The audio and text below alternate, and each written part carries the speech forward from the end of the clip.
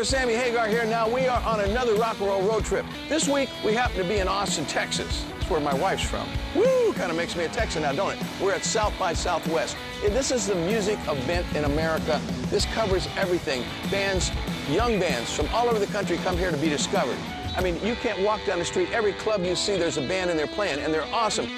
Bands like Alabama Shakes, Amy Winehouse, John Mayer, Katy Perry, they've been all been discovered here. I wasn't discovered here, but I might be discovered tonight. Huh? Huh? Okay, is what I'm gonna do is I'm gonna go do an interview for an audience and I'm gonna explain how I got my start in music and how I got where I am, wherever that is. I know right now we're on AXS TV. Boom! Then I'm gonna go and see my buddy Darryl, okay? From Run DMC. We're talking about Darryl. I'm gonna go interview him. He's gonna show me how to rap. I'm gonna do it. I'm gonna do it. And then we're gonna rock. I'm gonna show him how to rock. We're gonna do this thing. This is gonna be the best show ever. Every year, over 51,000 people come to Austin for the world's largest music festival of its kind. For 30 years, this has been the place to hear music's elite speak. You know, they've had speakers like Dave Grohl, Robert Plant, Johnny Cash,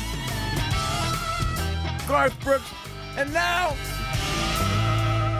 the Red Rocker himself, me. Let's do this.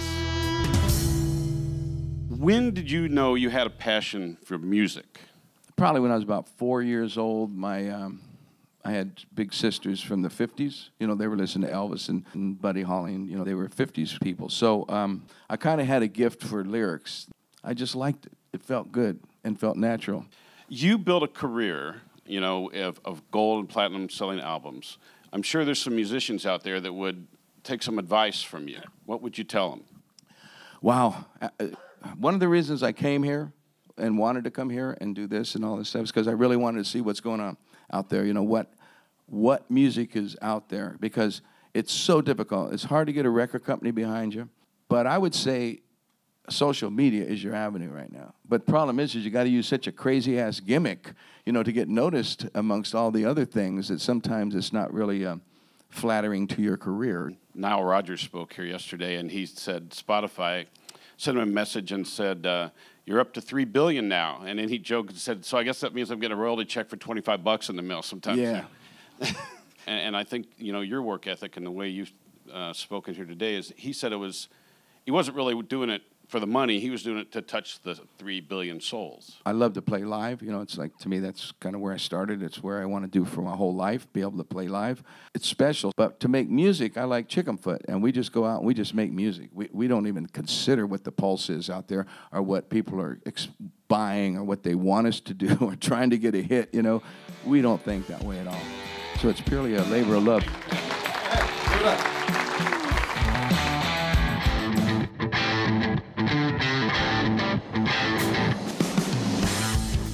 Okay, now that was that. You know, I told my whole life story there and in five minutes, I mean in an hour, and now I'm gonna head around the corner, I'm gonna go meet my buddy Darryl, and we're gonna, I'm gonna do something I've never done in my life. I'm gonna try to rap. I am.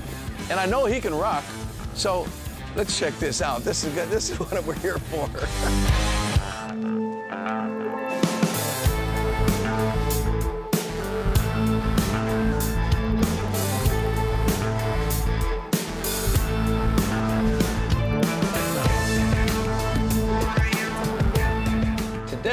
We are in Austin, Texas. We are at South by Southwest, and I'm sitting here with Daryl MC Daniels. Okay, How you doing? What's come on, on? Run DMC. You guys started all this. You guys. Well, no, no, we didn't really start it. You guys Well, actually started well- it. You rock and roll guys. All of you guys gave us the foundation and the backbeats and the music for us to rap over. You turned it all upside down and every which way. Mm-hmm. What were you listening to before you, well, you know, rap? I mean, you, so you were I- listening to no, no, no, no. My story's funny. When I was a little kid growing up in Hollis, Queens, New York, it's a lower suburban class uh, area, Hollis, Queens, and radio back then was beautiful. There was this station, 77 WABC, and I think one of the jocks was Dan Ingram. And I never knew it said Dan Ingram. I just remember that. But they used to play Jackson 5. They used to play James Brown, Sly and the Family Stones. As a little kid, I never cared nothing about afros, high heels, and soul music. It was something about Led Zeppelin, the Beatles, Harry Wow. Chapin, um, um, um, um, Procol Harum. Procol Harum, of my Um, favorite yeah, of yeah, all time. yeah, yeah. It was just something about the so-called classic rock, the, re- the real rock and roll, and also the folk rock artists that captivated me as a little kid. Um, Creedence Clearwater Revival, John Fogerty. All of that music as a little kid, me sitting there playing with my G.I. Joes and toys. You know, James Brown was cool, um, Sly and the Jackson 5 was cool, but it was just something about the sound of rock music. I think You're it was the guitars, I think it was the drums. Even Elton John. It was like, who is this guy playing the piano and making rock and roll? So as a kid, I always wanted to be a rock star. That's why when I started rapping, we made the song King of Rock. What a trip. I mean, you were the first guys to do it, to cross into the bring the rock thing and into Mm-hmm. MTV and cross the rap thing over to, you know, us rocker guys and all Right, that. right, say, right. we're going, huh? Think about it like this. I mean, it, it, it, it works now and even back then. We was exposing your guys' music to Totally. a whole new audience. Mick Jagger, you know what I'm saying? The Rolling Stones and, and, and, and Van Halen. We wanted to be where you guys were.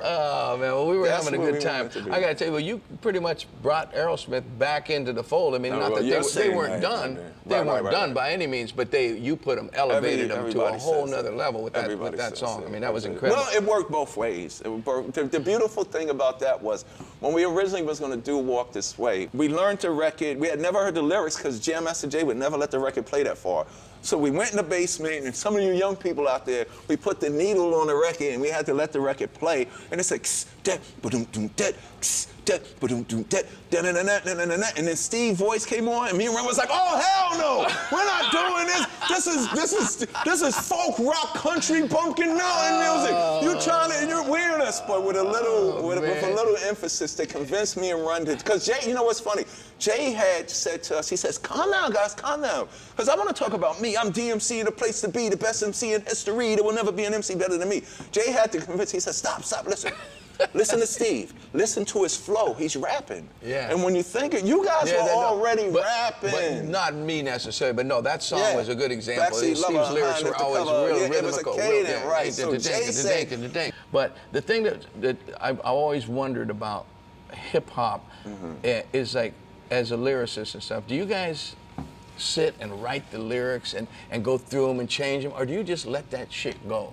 How, how is it? It's- it's both. I get the It's- feeling that sometimes it- it's just no, like it's- no, it's both. not even thought about. No, right? no, it's both. the majority of the songs is just saying what you feel, whatever. But a lot of songs, such as "It's Like That and That's the Way It Is," "My Adidas," those songs was we sat down and wrote. Were written out like a got it, song, like or change that verse D. Don't say that. This. uh, Like the rockers do. That's what we have Yeah, to yeah, do. yeah, yeah, yeah. Well, to answer your question, no, we sit down and write songs. We sit down and write songs. Like the whole Adidas idea came about because um, when I was growing up, we had this doctor in our neighborhood named Dr. Deas, and he was very You influential. remember this too. Look at this. Thing. Yeah, yeah, yeah. And every it was a rite of passage for every parent to drive you by Dr. D's house and say, "See that house? You see that car? That's what you get when you go to school and get a good education. You little okay." So Dr. D's was looked up to. He would write these bu- newsletter bulletins, and you know, it would address obesity, food, drug abuse. One week his newsletter was felon shoes, and he he was partially right, but he was kind of wrong. He said. You see those young people in front of the stores with their fresh sneakers on?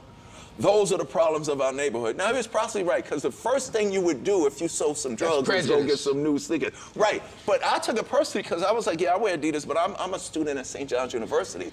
My friend over there, he wears Adidas. He worked three jobs just to get one pair of sneakers. So when we went to write the Adidas songs, we had to write a song about it. So my thing was, at that time, my experience was, I stepped on stage at my Adidas, walked through concert doors and roamed all over Coliseum floors. I stepped on stage at Live Aid, all the people gave and the poor got paid. Uh. and out of speakers, I Hey, just speak. good I God. wore my sneakers, but I'm not a sneak. Uh. So we wrote songs. These are mine, We first wrote of all. them. Yeah, yeah, those are definitely I had them go out and reach out for these. But so what was Yeah. that? So how in the hell did you come up with the idea of just doing this shit? I mean, No, come on, it's this simple. Is, No, no, no. This I- is I'll like a you. fad. I mean, right? You No, no, no, no. I'll tell you how You it took came all the laces out? No. What do you gotta do? You were so happy. Yeah, you take yeah, take this. You take the Yeah. no shoestrings in them. Did not win them. Okay. Brought them off the Ave with my black lead denim. But the reason, the reason why we took the laces out was this. It was a little kid, um, inspirational thing. You were so happy